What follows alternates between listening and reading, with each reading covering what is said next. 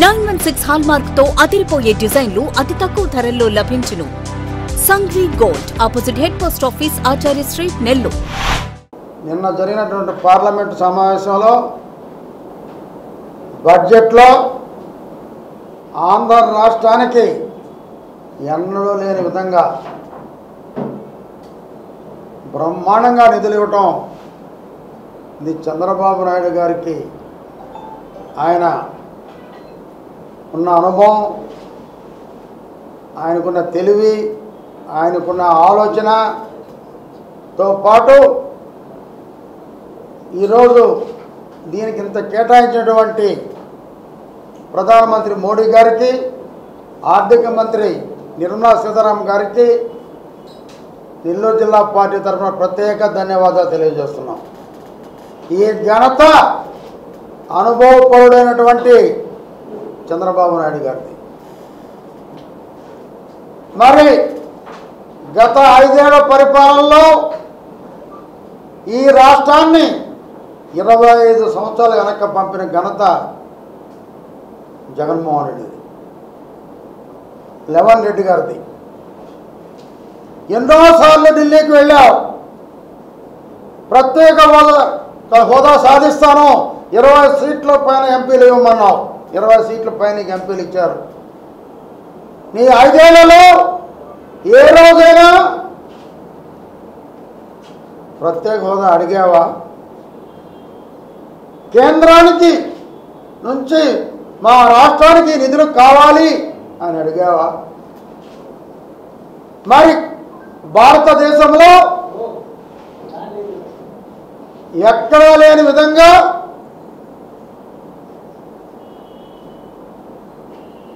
ఈ రాష్ట్రానికి రాజధాని లేదు ఐదేళ్ళు. రాజధాని లేని రాష్ట్రం అంటే తలకాయ లేని మొండం లాంటిది ఈ రాష్ట్రం. చేతగాని దద్దమ్మ ఒక తెలివి తక్కువ దద్దమ్మ ఐదేళ్ళు పరిపాలించి కేవలం ఢిల్లీకి అనేక సార్లు పోయావు. ప్రత్యేక విమానాలు పోయావు. అందరూ ఏమనుకున్నారు? పాపం. ఈ పొట్టమొక్క మంత్రి చాలాసార్లు విమానాల్లో పోయాడు ప్రత్యేక విమానాల్లో. ఏదో సాధించబోతున్నాడు. ప్రత్యేక హోదా సాధిస్తే ప్రత్యేక ఫ్యాక్టరీలు వస్తాయి ఉద్యోగాలు వస్తాయి జాబ్ కాలం రిలీజ్ చేస్తాడు అని ఆశించారు. పాపం ఆయన పోయింది దానికి కాదు. ఆయన కేసుల రద్దు కోసం తన తమ్ముడిని చిన్నార హత్య కేసు నుంచి బయటపడే దానికోసం కేంద్ర నాయకుల కాళ్ళ మీద పడే సంగతి అందరికి తెలిసిందే. ఈరోజు చంద్రబాబు నాయుడు గారు ప్రమాణ స్వీకారం రోజే రాష్ట్ర పునర్నిర్మాణమే నా ధ్యేయం అని ఆనాడు ప్రమాణం చేయడం జరిగింది. దాని ప్రకారం రెండే రెండు సార్లు ఢిల్లీకి వెళ్ళారు. ఒకసారి మోడీ గారిని కలిశారు ఒకసారి హోమ్ మినిస్టర్ గారు అమిత్ షా. గారిని కలిశారు ఈ రాష్ట్రానికి ఏం కావాలి? ముందు అమరావతి రాజధాని ఎలా డెవలప్ చేయాలి? ఆ ప్రధానే శంకుస్థాపన చేసినటువంటి రాజధాని బ్రహ్మాండంగా కావాలని చెప్పి అడిగి ఈరోజు దాదాపు పదిహేను వేల కోట్ల రూపాయలు ఈరోజు అమరావతి తెచ్చిన ఘనత చంద్రబాబు నాయుడు గారిదైతే అయితే ఇచ్చిన ఘనత మోడీ గారిది. ఒప్పించిన ఘనత మా అనుభవపరుడైనటువంటి మా నాయకుడు చంద్రబాబు నాయుడు గారిది అదే రకంగా ఆయన సపోర్ట్గా ఉన్నటువంటి పవన్ కళ్యాణ్ గారిది. అయితే ఒకటి అడుగుతున్నాం ఈరోజు. లెవన్ రెడ్డి గారు జగన్ రెడ్డి. త్వరలో ఫైవ్ రెడ్డి అయిపోతున్నావు రెడ్డి అంటే ఆరు ఎమ్మెల్యేలు వెళ్ళిపోతున్నారు నీకు. నువ్వు ఎంత తెలివి తక్కువడు అంటే ప్రతిపక్ష నాయకుడు హోదా కావాలని నువ్వు హైకోర్టుకు పోయావంటే నువ్వు తెలివి తక్కువ దద్దమ్మ కాక ఏంటని అడుగుతున్నా. ప్రజలే నువ్వు పనికిరావు. ప్రతిపక్ష నాయకుడిగా నువ్వు అసలు అనర్హుడివి అని తీర్పిచ్చి తరిమి కొడితే సిగ్గు లేకుండా మళ్ళీ హైకోర్టుకు పోయావు అసెంబ్లీకి ఒక రూల్ లేదా? ఇంత పర్సంటేజ్ ఉంటేనే ప్రతిపక్ష హోదా ఉంటుందని తెలీదా? దీని కోర్టుకు సంబంధం ఏంటి? సిగ్గు లేని జగన్మోహన్ రెడ్డి. ఈరోజు సిగ్గు తెచ్చుకో! మొదటి నుంచి చెప్తున్నాం మేము. నీకు పరిపాలన అనుభవం లేదు. కొంచెం తగ్గి చంద్రబాబు నాయుడు దగ్గరికి వెళ్ళి ఆయన అడిగి పరిపాలన ఎలా చేయాలో తెలుసుకో. చంద్రబాబు నాయుడు గారి అనుభవం ముందు. ఆయన ఎలా చేశారో ఆయన ఒకసారి సలహా అడుగు. అడిగిన సందర్భాలు లేవు. ఇంట్లో నుంచి నువ్వు బయటకు వచ్చే సందర్భం లేదు. ఈ రాష్ట్రంలో మనకు బ్రహ్మాండంగా ఈ సముద్ర తీరం ఉంది. మొత్తం కేంద్రం నుంచి మొత్తం క్యారిడార్ బ్రహ్మాండంగా మనం అభివృద్ధి చేసుకోవచ్చు. ఎన్నో ఓడరేవులు కట్టుకోవచ్చు.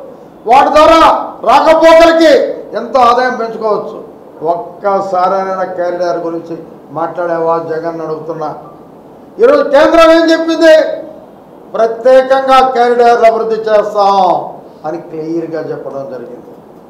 మరి ఆంధ్ర రాష్ట్ర ప్రజలకి సాగునీరు తాగునీరుకి అవసరమైన పోలవరం ప్రాజెక్ట్.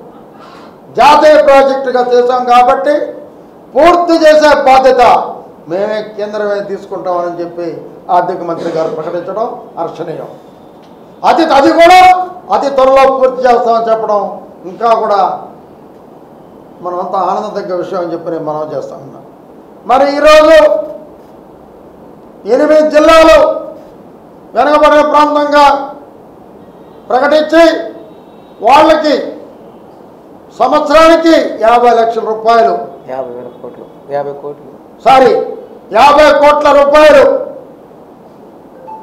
ఆ జిల్లాకి ఇవ్వటం జరుగుతుంది. వాటిల్లో నీకు మీ నాన్నగారికి రాజకీయ జన్మించినటువంటి కడప జిల్లా కూడా ఉంది. ఏనాడైనా కడప జిల్లా గురించి మీరు అడిగారా? మీ కడప జిల్లాను అభివృద్ధి చేశారా? మీకు ఎప్పుడు మటలు జరుగుతుండాలి. గ్రామాల్లో వర్గాలు ఉండాలి. ఒక వర్గం మీకు ఉండాలి మనుషులు చంపాలి రక్తం మీద నడవాలి. రక్తపటేరుల రాజకీయవేత్త ఎవరంటే లెవన్ రెడ్డి మిస్టర్ జగన్ రెడ్డి. త్వరలో కాబోయే ఫైవ్ రెడ్డి. మరి ఈరోజు ఐదేళ్ళ పాలనలో ఒక్క పరిశ్రమైన మీరు తెచ్చారా? జగన్ రెడ్డిని అడుగుతున్నా లెవన్ రెడ్డి. మరి ఒక్క పరిశ్రమ రాలా నీ దెబ్బ భయపడి పారిపోయారు. ఎవరు వచ్చినా అడిగావు? నాకు పార్ట్నర్షిప్ ఏమని అడిగావు? వాళ్ళు పారిపోయారు. తమిళనాడు పార్టీలు కర్ణాటక పార్టీలకు వెళ్ళిపోయారు. మనకు ఆదాయం సున్నా. మరి ఈరోజు ఎన్ని పరిశ్రమలు వచ్చినా రాయితీలు ఇస్తాం రాష్ట్ర ప్రభుత్వాలు సహకరిస్తాం రాష్ట్ర ప్రభుత్వ ఆదాయం పెంచుతాం అని ఈరోజు చెప్పారంటే కేవలం మా చంద్రబాబు నాయుడు గారినటువంటి సమర్థత అని తోడుగా ఉన్న పవన్ కళ్యాణ్. అదే రకంగా చూస్తే విశాఖ ఉక్కు ఒకప్పుడు మహనీయులు తెన్నేటి విశ్వనాథం గారు విశాఖ ఉక్కు ఆంధ్ర హక్కు అని పోరాటం జరిపినటువంటి మహానాయకులు ఆనాడు.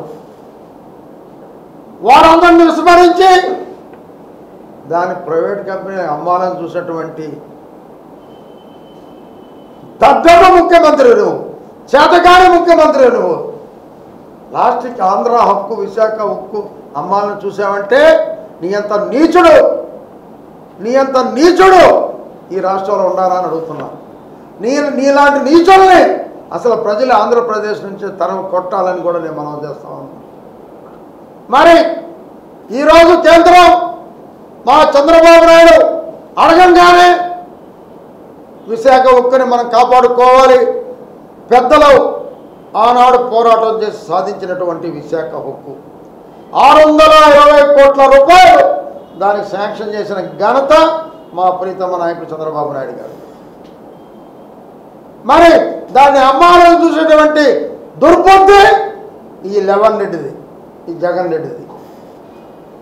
మరి అదే పరిపాలనా దక్షత అంటే అదే పరిపాలన అంటే ఈరోజు ప్రజలు ఏది ఆశించారో ఈ రాష్ట్రం ఇరవై ఏళ్ళు వెనకబడింది జగన్మోహన్ రెడ్డి పరిపాలనలో. ఈ లెవెన్ రెడ్డి పరిపాలనలో దాన్ని తిరిగి పునర్నిర్మించాలన్నా ఈ రాష్ట్రం అభివృద్ధి చెందాలన్నా ఈ రాష్ట్రం రాజధాని కావాలన్నా చంద్రబాబు ఒక్కడే సమర్థుడని పవన్ కళ్యాణ్ చంద్రబాబు బీజేపీ ప్రభుత్వానికి ఎన్డీఏ దానికి ఈరోజు ఓటేసి చంద్రబాబుని అత్యధిక మెజార్టీతో ముఖ్యమంత్రి చేయడం జరిగిందని చెప్పి మనం చేస్తున్నాం ప్రజలకు ఏమాత్రం నమ్మకం పోకుండా ప్రజాపాలన దేవం అంటూ ఈరోజు కేంద్రాన్ని ఆయన ఒప్పించి మెప్పించి రాష్ట్రానికి ఏది అవసరం రాష్ట్రానికి ఏ నిధులు తేవాలి ఈ రాష్ట్రం ఇరవై సంవత్సరాలు వెనకపోయిందని ఎలా పునర్నిర్మించాలి అని ఆలోచన చేసి కేంద్రాన్ని ఒప్పించి అడిగి నిధులు తెచ్చినటువంటి ఒక ఆదర్శ ముఖ్యమంత్రి చంద్రబాబు నాయుడు గారు. మరి నీలాగా ఢిల్లీకి పోయి నీ తమ్ముడిని హత్య కేసుల నుంచి కాపాడాలని నీ కేసులు కాపాడాలని నీ చెల్లిని దరివేసి నీ అమ్మని దరివేసి ఐదేళ్ళ కాలం అలాగే వెలుపుచ్చావు ఛీ! నాలుగు రాజధానులు అన్నావు. ఒక్క రాజధాని లేదు. నువ్వు అసలు మనిషివే? నీలాంటి ముఖ్యమంత్రి చేసినానికి ప్రజలు ఈరోజు ఎంత బాధపడుతున్నారు? ఎంత బాధపడ్డారో? ఈరోజు చంద్రబాబు నాయుడు గారిని ముఖ్యమంత్రి చేసిన దానికి ఈ బడ్జెట్తో మొన్న ఇచ్చినటువంటి జీతాలు డబ్బులు లేకపోయినా ఇచ్చిన పెన్షన్లతో ప్రజలు ఈరోజు ఆనందంగా ఆనందభరితంగా ప్రజానీకం ఆంధ్ర రాష్ట్రం ఉందని. ఆంధ్ర రాష్ట్రానికి ఇంకా మార్గదర్శనం రాబోతుంది. ఇంకా ముందుకు వెళ్ళబోతున్నాం దేశంలోనే ఈ రాష్ట్రాన్ని ముందుకెళ్ళగల ముందుకు తీసుకెళ్ళ శక్తి ఒక చంద్రబాబు నాయుడికి మాత్రమే ఉంది. తప్పకుండా కేంద్రం సకాలంతో ఈ రాష్ట్రాన్ని మరింత వేగంగా అభివృద్ధి పయంలో పయనింప చేస్తారని చెప్పి మేము తెలియజేస్తున్నాం. అదే రకంగా అభివృద్ధి చేసే ముఖ్యమంత్రికి మొత్తం ప్రజానికం మొత్తం మద్దతు ఇస్తున్నారు. ఈ రాష్ట్రాన్ని సర్వనాశనం చేసిన జగన్మోహన్ రెడ్డిని ఆంధ్ర రాష్ట్రం నుంచే బహిష్కరించమని నేను ప్రజానీకాన్ని కోరుతున్నా. సంగ్వి గోల్డ్. స్వర్ణాభరణాల కొనుగోలుకు ఒక నమ్మకం సంగ్వి గోల్డ్. పంతొమ్మిది వందల ఎనభై తొమ్మిది నాటి నుండి ఇప్పటి వరకు సింహపురి వాసులకు ఎప్పటికప్పుడు సరికొత్త డిజైన్లతో BIS nine one six hallmark KDM వంటి స్వచ్ఛమైన బంగారాన్ని అందిస్తూ వారి నమ్మకాన్ని చూరగొంది సంగ్వి గోల్డ్. మా వద్ద light weight jewellery antique jewellery nakshi jewellery Mona Lisa beads jewellery మరియు వెండి వస్తువులు లభించును. బంగారు నగలపై ఎటువంటి కూలీ లేదు. వెండి ఆభరణాలపై ఎటువంటి తరుగు కూలీ లేదు. ఆర్డర్ చేసిన అన్ని రకాల ఆభరణాలు సకాలంలో తయారు చేసి ఇవ్వబడును. మార్కెట్లో ఎవ్వరూ ఇవ్వలేని విధంగా బంగారు నగలపై అతి తక్కువ తరుగు మేకింగ్ ఛార్జెస్ లేవు. మరియు అందరికీ అందుబాటులో ధరలో మా ప్రత్యేకత. విచ్చేయండి Sanghvi gold Achari street opposite head post office Nellore. Cell nine triple three one two three one two three.